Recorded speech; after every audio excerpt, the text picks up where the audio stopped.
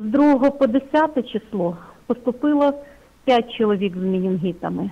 А з 17 по 22 9 чоловік. З них 7 це діти різного віку. Двоє дітей з районів, а всі остальні з Хмельницького.